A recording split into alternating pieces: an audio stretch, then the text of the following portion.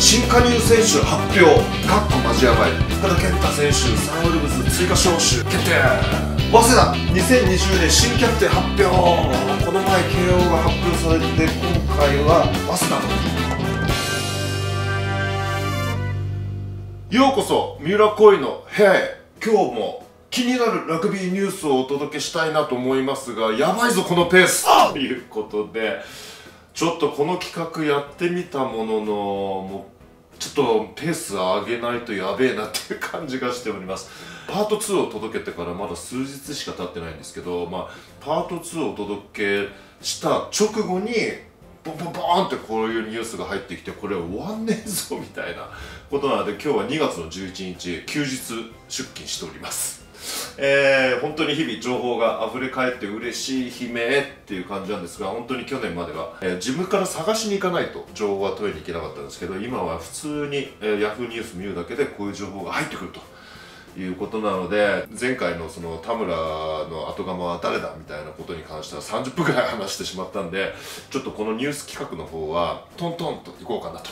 思っておりますのでお付き合いください今日でパート3ですいうことで今日のトピックは3つです、えー、シンプルにお伝えしたいなと思います。じゃあ東芝新加入選手発表かっこマジやばいっ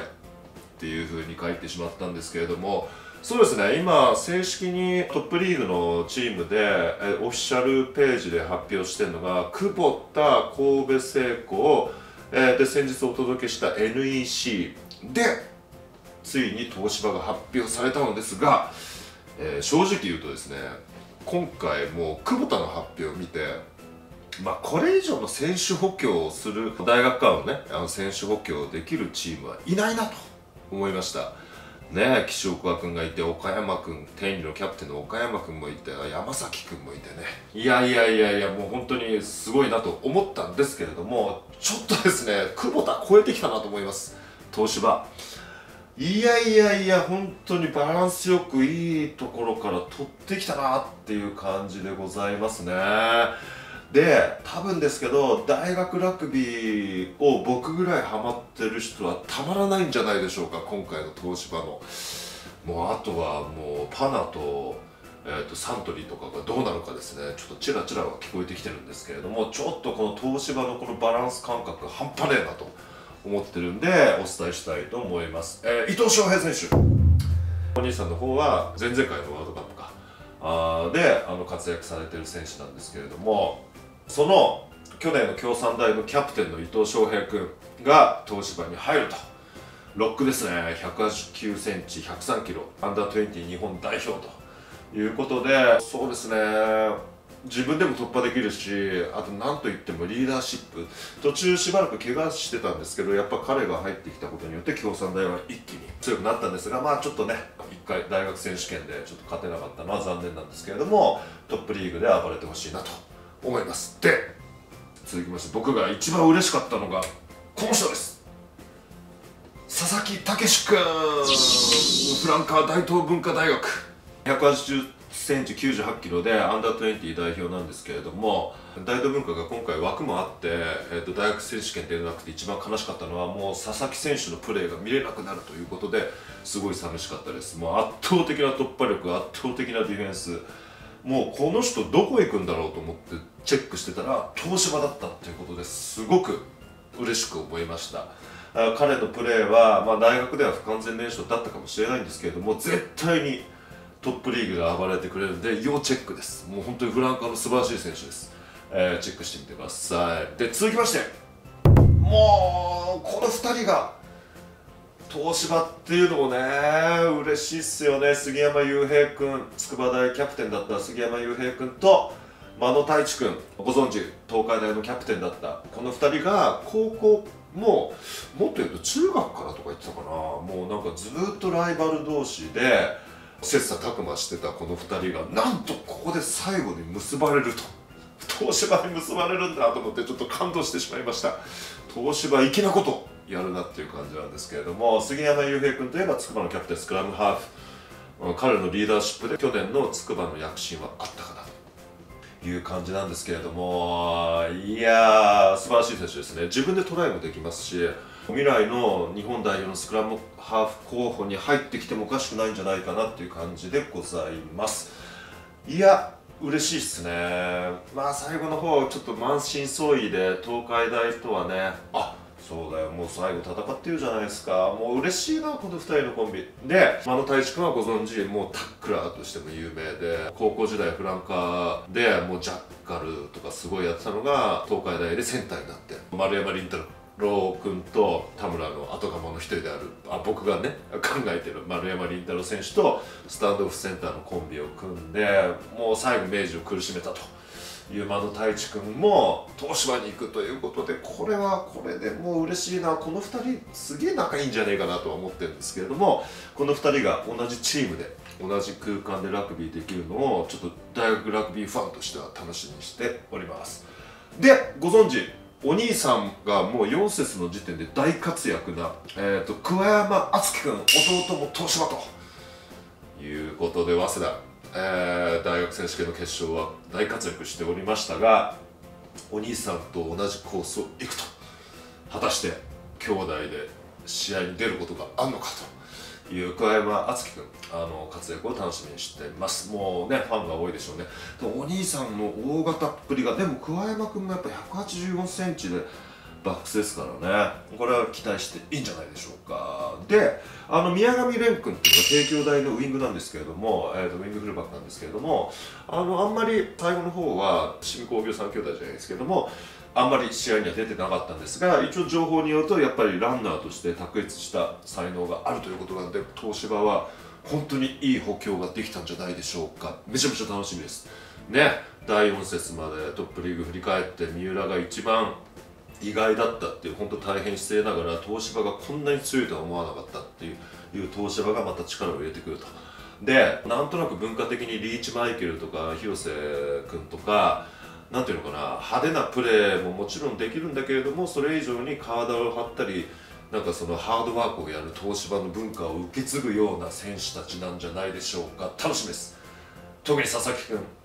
期待しておりますということで東芝新加入選手発表ということをお伝えさせていただきました。2つ目これまた嬉しいんじゃないでしょうか。明治ファン福田健太選手サンウルブズ追加招集決定ということでスクラムハーフおととしえーと、明治の優勝を導いた福田健太キャプテンスクラムハーフトヨタ自動車に所属してるのですが、ね、トヨタといえば日本代表の重野選手が今大活躍なんでなかなか機会がない中なんとサンウルブスから招集かかっててもう即答したらしいですね行きますと。いやこれは嬉しいですね、えー、だって何よりも聡明戦で戦った斎藤直人選手とかとまた一緒ですし何よりも橋本選手とか桑山選手がいてあね彼らからしてみたらあああの時の先輩キャプテンも来たみたいな感じでなんか明治派閥みたいなのもサンウルブスにできていい感じではないでしょうか。あもちろんそんな派閥なんてねもうこうないと思うんでみんなでやるんですけれどもやっぱりそういうのもあっても面白いんじゃないかなっていう感じで期待しております。ね斉藤直人選手がサンウルブスのレベル戦でやっぱ大活躍したのも結構刺激になったのではないでしょうか。でここで鍛えることによって次のワールドカップに向けてのちょっとスクラムハーフ候補として名乗りを上げてほしいなと。思います。でもう本当にニュースが止まらない。早稲田2020年新キャプテン発表この前慶応が発表されて今回は早稲田と、えー、慶応のライバルである早稲田もキャプテン発表しました。もう皆さんこれは僕慶応ファンとして相部海斗君がもう満場一致と一緒で今回も満場一致なんじゃないでしょうか。キャプテンナンバー8丸尾高政選手。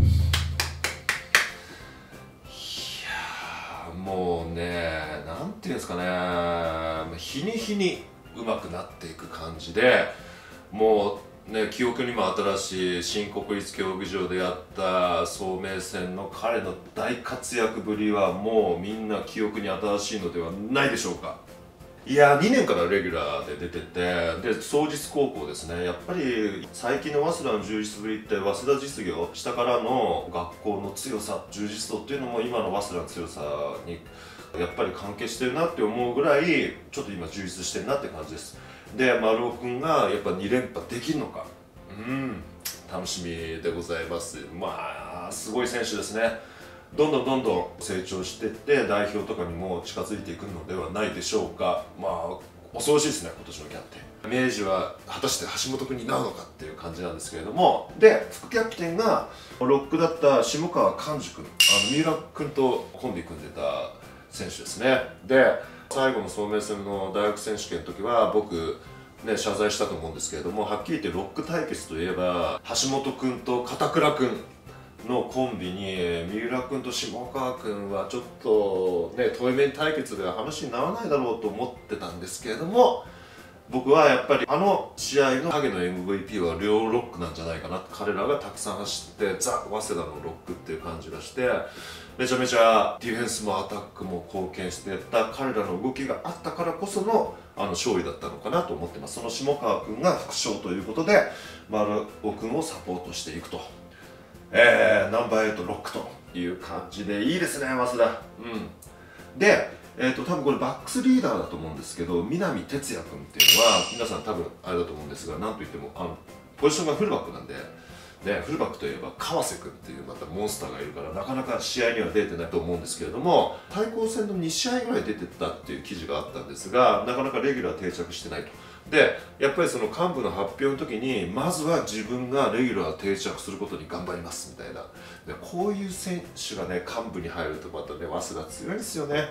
斉藤直選手の前のね佐藤キャプテンとかって記憶に新しいと思うんですけれども